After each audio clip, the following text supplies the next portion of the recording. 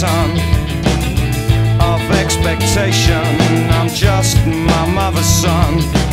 Some models aren't.